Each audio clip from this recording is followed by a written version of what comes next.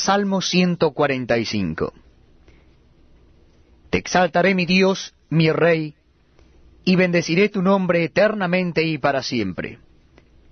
Cada día te bendeciré, y alabaré tu nombre eternamente y para siempre. Grande es Jehová, y digno de suprema alabanza, y su grandeza es inescrutable. Generación a generación celebrará tus obras, y anunciará tus poderosos hechos, en la hermosura de la gloria de tu magnificencia, y en tus hechos maravillosos meditaré. Del poder de tus hechos estupendos hablarán los hombres, y yo publicaré tu grandeza. Proclamarán la memoria de tu inmensa bondad y cantarán tu justicia. Clemente y misericordioso es Jehová, lento para la ira y grande en misericordia. Bueno es Jehová para con todos, y sus misericordias sobre todas sus obras. Te alaben, oh Jehová, todas tus obras, y tus santos te bendigan. La gloria de tu reino digan, y hablen de tu poder, para hacer saber a los hijos de los hombres sus poderosos hechos, y la gloria de la magnificencia de su reino. Tu reino es reino de todos los siglos, y tu señorío en todas las generaciones. Sostiene Jehová a todos los que caen, y levanta a todos los oprimidos. Los ojos de todos esperan en ti, y tú les das su comida a su tiempo. Abres tu mano, y colmas de bendición a todo ser viviente. Justo es Jehová en todos sus caminos, y misericordioso en todas sus obras. Cercano está Jehová a todos los que le invocan, a todos los que le invocan de veras. Cumplirá el deseo de los que le temen.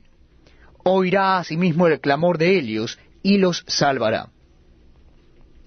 Jehová guarda a todos los que le aman, mas destruirá a todos los impíos. La alabanza de Jehová proclamará mi boca, y todos bendigan su santo nombre eternamente y para siempre. Salmo 146 Alaba, oh alma mía, a Jehová. Alabaré a Jehová en mi vida. Cantaré salmos a mi Dios mientras viva. No confiéis en los príncipes, ni en hijo de hombre, porque no hay en él salvación. Pues sale su aliento y vuelve a la tierra. En ese mismo día perecen sus pensamientos. Bienaventurado aquel cuyo ayudador es el Dios de Jacob, cuya esperanza está en Jehová su Dios, el cual hizo los cielos y la tierra, el mar y todo lo que en ellos hay, que guarda verdad para siempre, que hace justicia a los agraviados, que da pan a los hambrientos. Jehová liberta a los cautivos, Jehová abre los ojos a los ciegos, Jehová levanta a los caídos, Jehová ama a los justos. Jehová guarda a los extranjeros, al huérfano y a la viuda sostiene, y el camino de los impíos trastorna. Reinará Jehová para siempre, tu Dios, oh Sión, de generación en generación. Aleluya.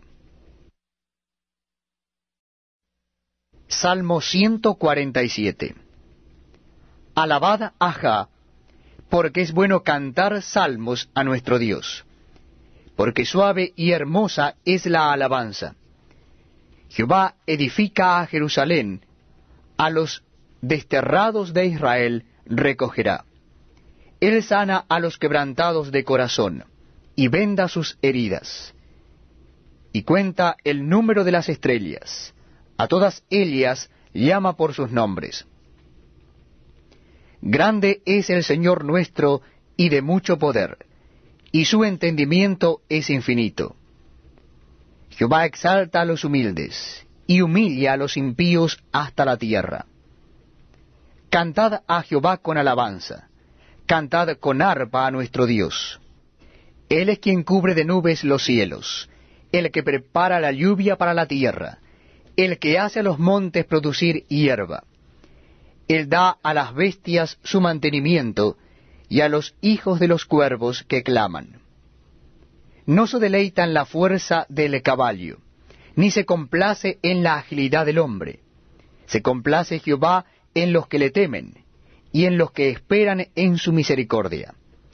Alaba a Jehová Jerusalén, alaba a tu Dios, oh Sión, porque fortificó los cerrojos de tus puertas, bendijo a tus hijos dentro de ti. Él da en tu territorio la paz, te hará saciar con lo mejor del trigo. Él envía su palabra a la tierra, velozmente corre su palabra. Da la nieve como lana, y derrama la escarcha como ceniza. Echa su hielo como pedazos. Ante su frío, ¿quién resistirá? Enviará su palabra y los derretirá. Soplará su viento y fluirán las aguas. Ha manifestado sus palabras a Jacob, sus estatutos y sus juicios a Israel. No ha hecho así con ninguna otra de las naciones, y en cuanto a sus juicios, no los conocieron. Aleluya. Salmo 148 Alabad a Jehová desde los cielos, alabadle en las alturas, alabadle vosotros todos sus ángeles, alabadle vosotros todos sus ejércitos, alabadle sol y luna, alabadle vosotras todas lucientes estrellas, alabadle cielos de los cielos, y las aguas que están sobre los cielos. Alaben el nombre de Jehová, porque Él mandó y fueron creados. Los hizo ser eternamente y para siempre. Les puso ley que no será quebrantada. Alabad a Jehová desde la tierra, los monstruos marinos y todos los abismos, el fuego y el granizo, la nieve y el vapor, el viento de tempestad que ejecuta su palabra. Los montes y todos los collados, el árbol de fruto y todos los cedros, la bestia y todo animal, reptiles y volátiles. Los reyes de la tierra y todos los pueblos, los príncipes y todos los jueces de la tierra, los jóvenes y también las doncellas, los ancianos y los niños. Alaben el nombre de Jehová, porque sólo su nombre es enaltecido. Su gloria es sobre tierra y cielos. Él ha exaltado el poderío de su pueblo. Alábenle todos sus santos, los hijos de Israel. El pueblo a él cercano. Aleluya. Salmo 149 Cantad a Jehová cántico nuevo. Su alabanza sea en la congregación de los santos. Alégrese Israel en su hacedor. Los hijos de Sión se gocen en su rey. Alaben su nombre con danza. Con pandero y arpa a él canten. Porque Jehová tiene contentamiento en su pueblo. Hermoseará a los humildes con la salvación. Regocíjense los santos por su gloria y canten aún sobre sus camas. Exalten a Dios con sus gargantas y espadas de dos filos en sus manos, para ejecutar venganza entre las naciones y castigar entre los pueblos, para aprisionar a sus reyes con grillos y a sus nobles con cadenas de hierro, para ejecutar en ellos el juicio decretado. Gloria será esto para todos sus santos. Aleluya. Salmo número 150. Alabad a Dios en su santuario, alabadle en la magnificencia de su firmamento, alabadle por sus proezas, alabadle conforme a la muchedumbre de su grandeza, alabadle a son de bocina, alabadle con salterio y arpa, alabadle con pandero y danza, alabadle con cuerdas y flautas, Alabadle con címbalos resonantes, alabadle con címbalos de júbilo. Todo lo que respira, alabe a Jah. Aleluya. Proverbios capítulo 30. Palabras de Agur, hijo de Yaque, la profecía que dijo el varón a Itiel, a y a. Ciertamente más rudo soy yo que ninguno ni tengo entendimiento de hombre. Yo ni aprendí sabiduría, ni conozco la ciencia del santo. ¿Quién subió al cielo y descendió? ¿Quién encerró los vientos en sus puños? ¿Quién ató las aguas en un paño? ¿Quién afirmó todos los términos de la tierra? ¿Cuál es su nombre y el nombre de su hijo, si sabes? Toda palabra de Dios es limpia. Él es escudo a los que en él esperan. No añadas a sus palabras para que no te reprenda y seas hallado mentiroso. Dos cosas te he demandado. No me las niegues antes que muera. Vanidad y palabra mentirosa aparta de mí.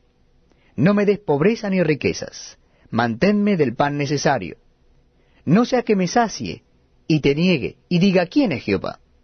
O que siendo pobre hurte y blasfeme el nombre de mi Dios. No acuses al siervo ante su Señor, no sea que te maldiga y lleves el castigo. Hay generación que maldice a su padre y a su madre no bendice. Hay generación limpia en su propia opinión, si bien no se ha limpiado de su inmundicia. Hay generación cuyos ojos son altivos, y cuyos párpados están levantados en alto. Hay generación cuyos dientes son espadas, y sus muelas cuchillos, para devorar a los pobres de la tierra y a los menesterosos de entre los hombres. La sanguijuela tiene dos hijas que dicen, dame, dame. Tres cosas hay que nunca se sacian, aun la cuarta nunca dice basta. El Seol, la matriz estéril, la tierra que no se sacia de aguas, y el fuego que jamás dice basta. El ojo que escarnece a su padre y menosprecia la enseñanza de la madre, los cuervos de la cañada lo saquen, y lo devoren los hijos del águila. Tres cosas me son ocultas, aún tampoco sé la cuarta. El rastro del águila en el aire, el rastro de la culebra sobre la peña, el rastro de la nave en medio del mar, y el rastro del hombre en la doncella. El proceder de la mujer adúltera es así. Come y limpia su boca, y dice, no he hecho maldad. Por tres cosas se alborota la tierra, y la cuarta ella no puede sufrir. Por el siervo cuando reina, por el necio cuando se sacia de pan, por la mujer odiada cuando se casa, y por la sierva cuando hereda a su señora. Cuatro cosas son de las más pequeñas de la tierra, y las mismas son más sabias que los sabios. Las hormigas, pueblo no fuerte, y en el verano preparan su comida los conejos, pueblo nada esforzado, y ponen su casa en la piedra. Las langostas, que no tienen rey, y salen todas por cuadrillas. La araña que atrapas con la mano, y está en palacios de rey. Tres cosas hay de hermoso andar, y la cuarta pasea muy bien. El león, fuerte entre todos los animales, que no vuelve atrás por nada. El ceñido de lomos, asimismo el macho cabrío y el rey a quien nadie resiste. Si neciamente has procurado enaltecerte, o si has pensado hacer mal, pon el dedo sobre tu boca. Ciertamente el que bate la leche sacará mantequilla, y el que recio se suena las narices sacará sangre, y el que provoca la ira causará contienda. Bienvenidos amigos a este tiempo tan especial donde compartimos la lectura de la palabra de Dios. Y en esta oportunidad lo vamos a hacer en la carta del apóstol San Pablo a los romanos, en el capítulo 5. Carta del apóstol San Pablo a los romanos, capítulo 5.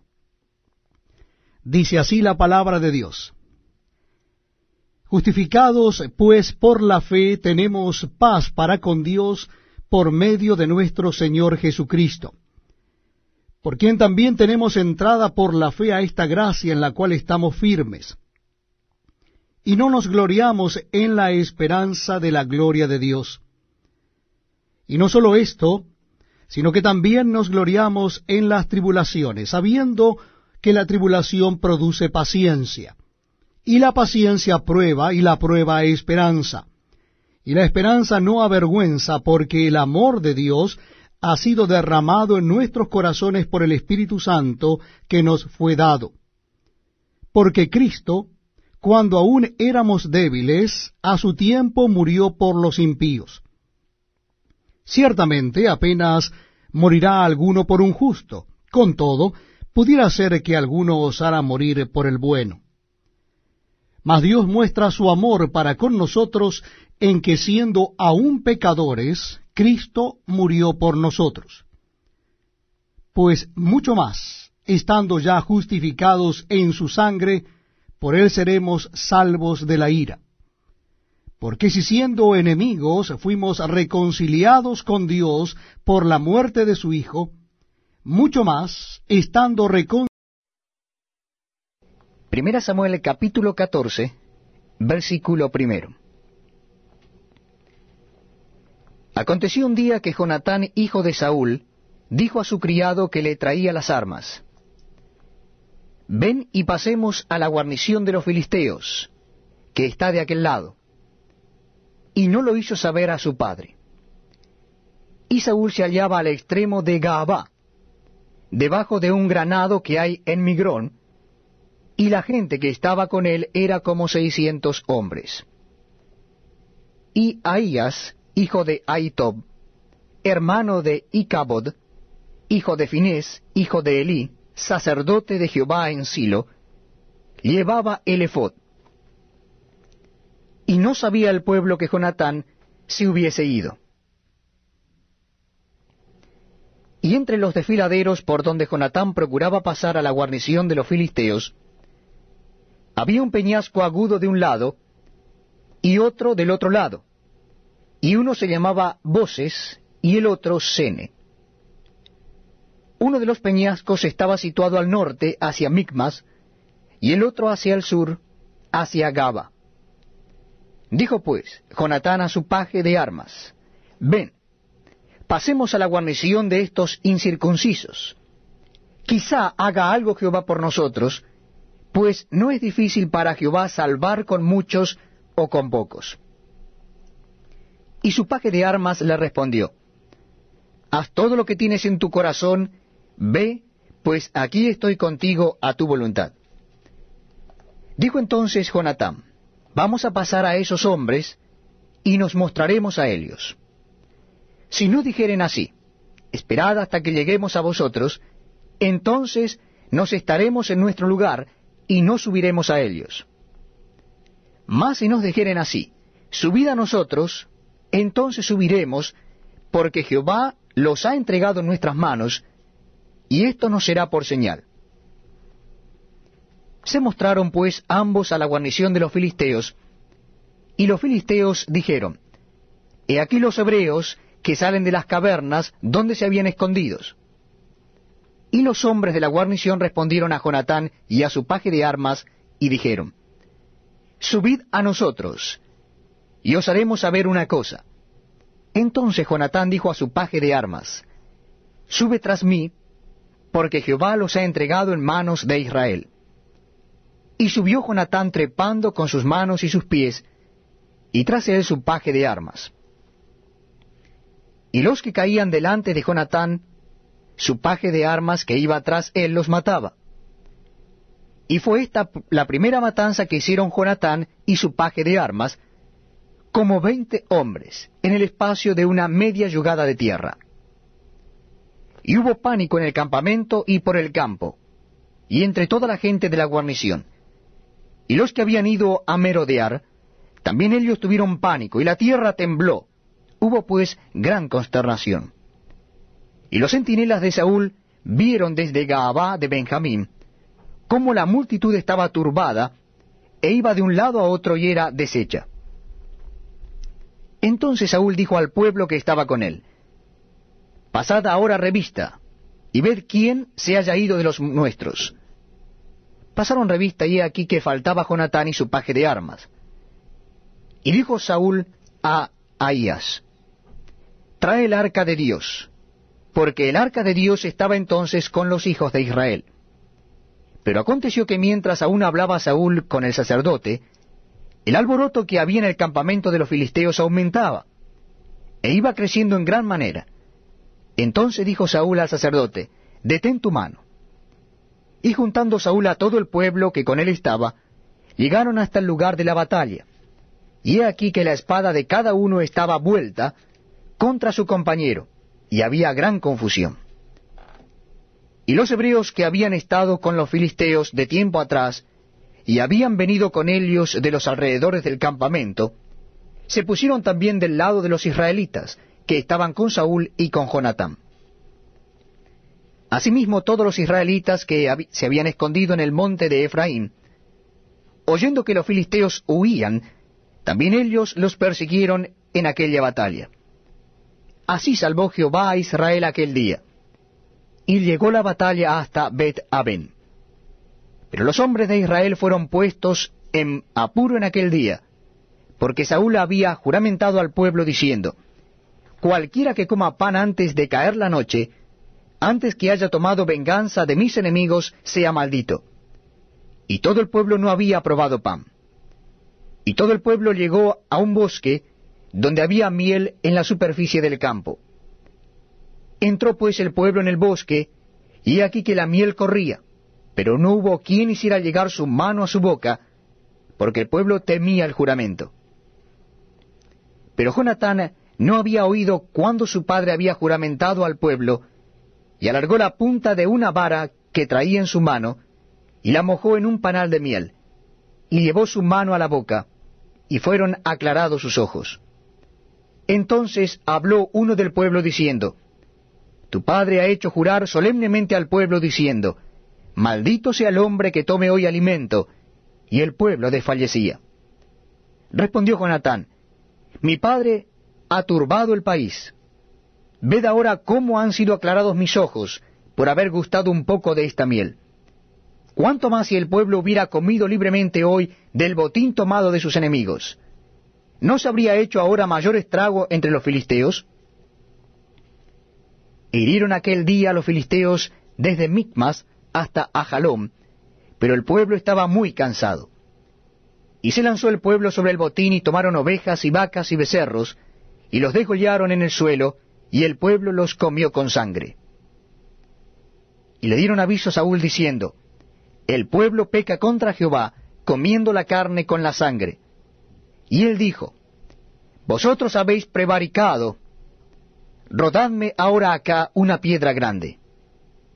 Además dijo Saúl, Esparcíos por el pueblo, y decidle que me traigan cada uno su vaca, y cada cual su oveja, y desgolladlas aquí y comed, y no pequéis contra Jehová comiendo la carne con la sangre.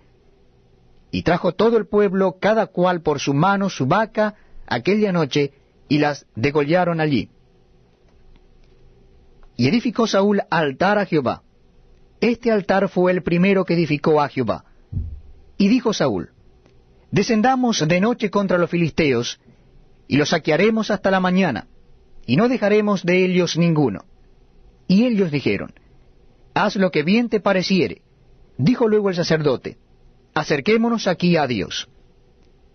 Y Saúl consultó a Dios, ¿Descenderé tras los filisteos? ¿Los entregarás en manos de Israel? Mas Jehová no le dio respuesta aquel día. Entonces dijo Saúl, Venid acá, todos los principales del pueblo, y sabed y ved en qué ha consistido este pecado hoy. Porque vive Jehová que salva a Israel, que aunque fuere en Jonatán mi hijo, de seguro morirá. Y no hubo en todo el pueblo quien le respondiese. Dijo luego a todo Israel, vosotros estaréis a un lado, y yo y Jonatán mi hijo estaremos al otro lado. Y el pueblo respondió a Saúl, Haz lo que bien te pareciere. Entonces dijo Saúl a Jehová Dios de Israel, Da suerte perfecta. Y la suerte cayó sobre Jonatán y Saúl, y el pueblo salió libre. Y Saúl dijo, Echad suertes entre mí y Jonatán mi hijo, y la suerte cayó sobre Jonatán. Entonces Saúl dijo a Jonatán, Declárame lo que has hecho. Y Jonatán se lo declaró y dijo, Ciertamente, gusté un poco de miel con la punta de la vara que traía en mi mano, ¿y he de morir? Y Saúl respondió, Así me haga Dios y aún me añada, que sin duda morirás, Jonatán. Entonces el pueblo dijo a Saúl, ¿Ha de morir Jonatán, el que ha hecho esta grande salvación en Israel? No será así. Vive Jehová, que no ha de hacer caer un cabello de su cabeza en tierra, pues que ha actuado hoy con Dios. Así el pueblo libró de morir a Jonatán. Y Saúl dejó de seguir a los filisteos, y los filisteos se fueron a su lugar. Después de haber tomado posesión del reinado de Israel, Saúl hizo guerra a todos sus enemigos en derredor, contra Moab, contra los hijos de Amón, contra Edom, contra los reyes de Soba y contra los filisteos, y a donde quiera que se volvía era vencedor. Y reunió un ejército y derrotó a Amalek, y libró a Israel de mano de los que lo saqueaban.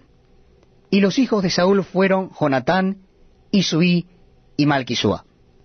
Y los nombres de sus dos hijas eran el de la mayor, Merab, y el de la menor, Mical. Y el nombre de la mujer de Saúl era Ainoam, hija de Aimás. Y el nombre del general de su ejército era Abner, hijo de Ner, tío de Saúl. Porque Cis, padre de Saúl, y Ner, padre de Abner, fueron hijos de Abiel. Y hubo guerra encarnizada contra los filisteos todo el tiempo de Saúl. Y todo el que Saúl veía que era hombre forzado y apto para combatir, lo juntaba consigo.